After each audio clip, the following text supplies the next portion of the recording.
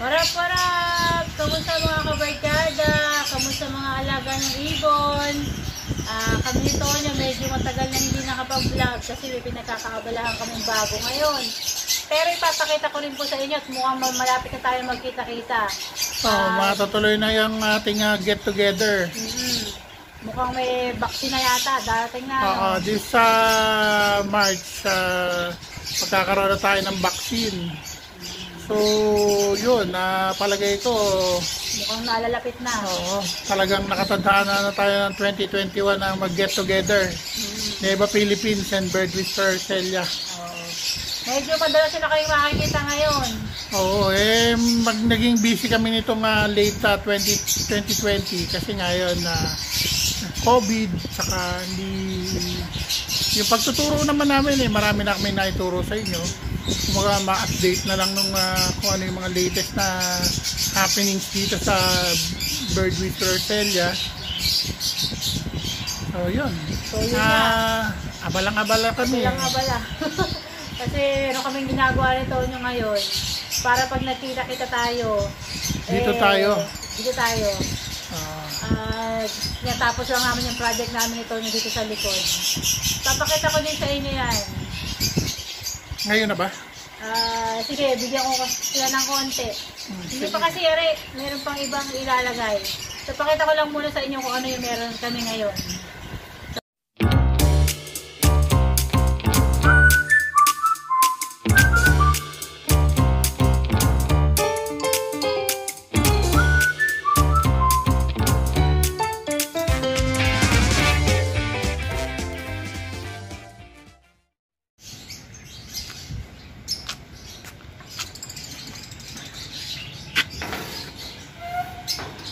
Daran! Ayan, medyo hindi pa masyado ayos yung gate namin. Bukas makalawa yan. Maayos na. Ito yung mga pinagbibili ni Tonyo.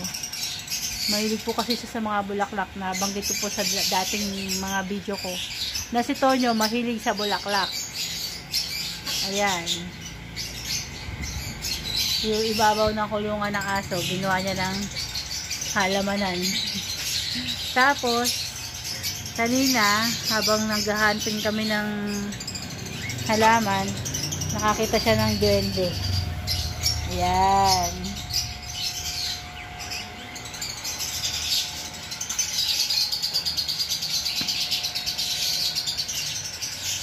Yung aking oregano at bonggambilya na pinapa papagapangin ko para hanggang doon. Tapos hindi mawawala lagi yung oregano. Kailangan po lagi maraming oregano para sa lamok. Yan, puro mga indoor, indoor plant.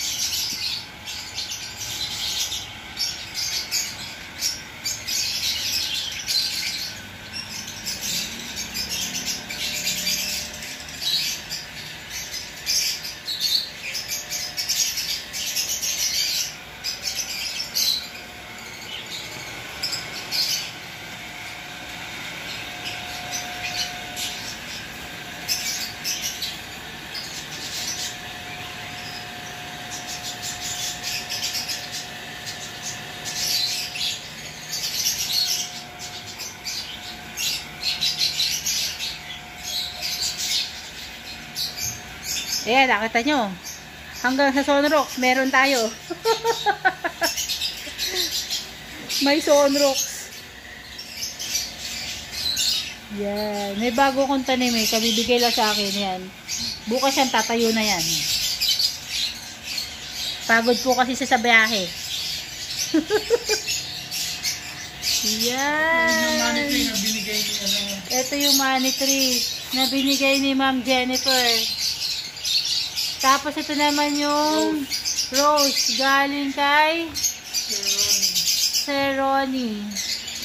Tapos yan, yung mga mga kung anik-anik na yan. Tapos ito yung ano, yung ko sa Tarlac. Ang ganda. favorite. Hindi naman, lahat sila favorite ko. Kaya lang may bulaklak kasi siya. Ang ganda, oh. Ah, grabe. Ang ganda, no?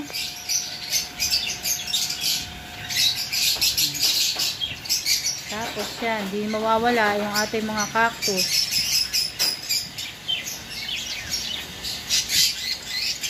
Tapos sa aking parakit.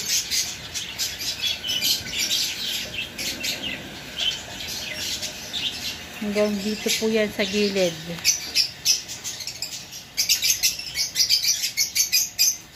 Yung mga cactus ko, nadagdagan ng mga halaman. Ito, mga bagong tanim ko lang po yan. Sana, mukha namang buhay siya. Yan. As usual, yung aking oregano, puro oregano. At ang aking GCC, ang aking flight.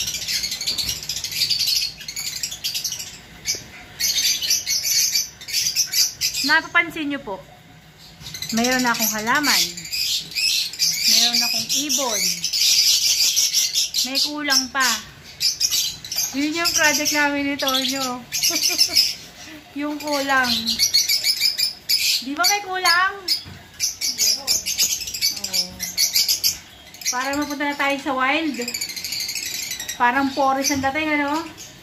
So, yung kulang, mga sa susunod na vlog ko, sana, makuha ko na kung ano yung kulang.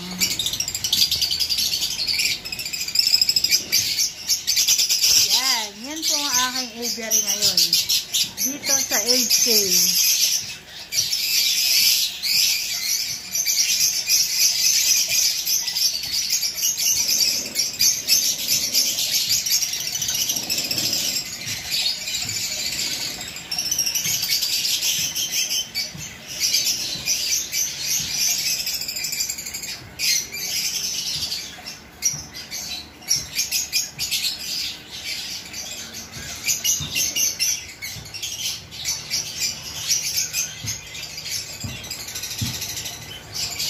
Ay, looking nga pala ako sa ganito. Baka merong nagawi dyan sa inyo. PM niyo po ako. ito, ito, yan. Naghahanap po ako ng naghahanap po ako ng ganito. Kasi nag-iisa lang po ito, maliit pa. Eh, kakahunting ko ng kakahunting kanina. Ang nahunting ko po, duwende. yan, looking po ako baka meron kayo yung ganyan. PM nyo po ako. so, yan. Ito yung napakita ko na nga po sa inyo. Yung aking, ito yung aking walking, walking flight. Yan. Tapos, ito naman po ang aking breeding section na punong-puno ng ano, ng oregano.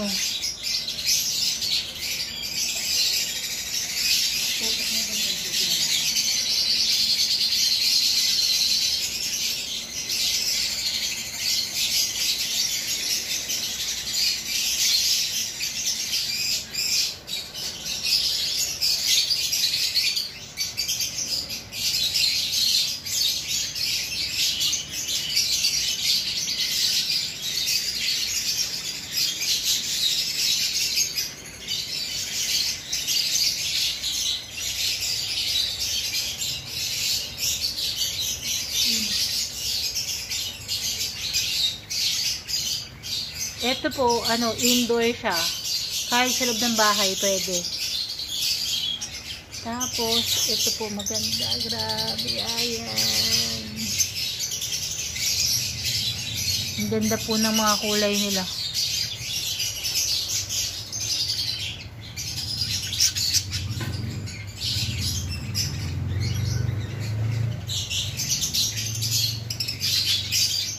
Ito, malago na. Yan.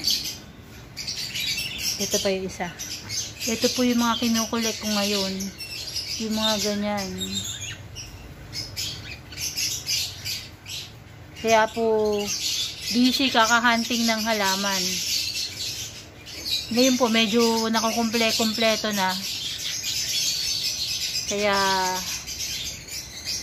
yan. Kakahunting ko po nung halaman na pula kanina. Ito po ang naiuwi ko. Yan. Pula din naman po siya. At green. Eh, kulang pa. Nawawala pa yung anim.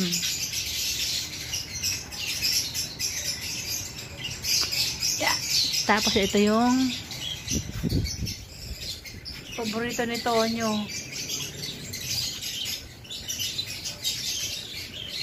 Bonggambilya, pero basta kulay red. Ayaw niya na ibang kulay, basta kulay red lang. So, yan. Shout out, shout out po tayo. Shout out po kay Ma'am Levy, kay Ma'am Levy Postolero. Kamusta po? Ah, shout out po kay Kimwell Maranata ng Muntinlupa City. Kay Belmark Ann. Shout out po kay Edison Cabe- Cabero from Antipolo. Shout out din po kay Marlon Isgera. Bunting ibo na ng Lipa, Batangas. At saka kay Nas. Kay Ma'am Jennifer Kison, thank you po sa money tree. Sa kay Sir Ronnie, salamat sa rose. Ah, kay Arnel De La Cruz ng... Ah, hindi. Arnel De La Cruz Lanotan. Ah, shout out din po kay Ira Luis Santos. Kings Aviary. Shout out po kay Joshua Wahe. Kay Joar uh, Ginaldo from Tagig. Kay Ryan Budget Mill. Saka shout out po sa lahat ng ano ng BWS Solid Team. Saka sa Neva Philippines. So, yun lamang po. Maraming maraming salamat.